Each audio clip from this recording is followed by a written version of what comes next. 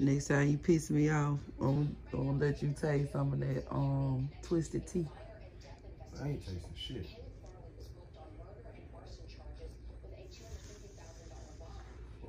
You ain't got no other choice. I ain't got. I got all type of choices, but I know I got the first choice.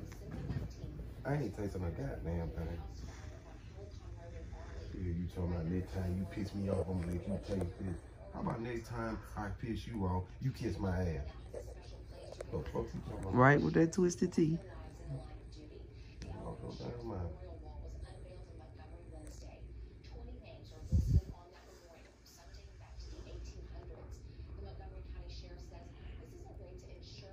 That twisted tea done became a weapon. I don't even know what the fuck it is.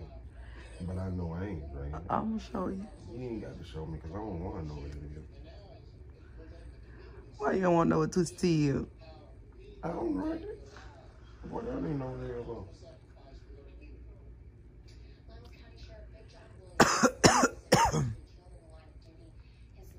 Big John.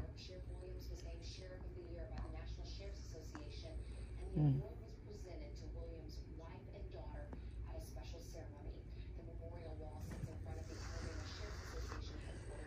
How you don't know they had a twisted tea? Yeah.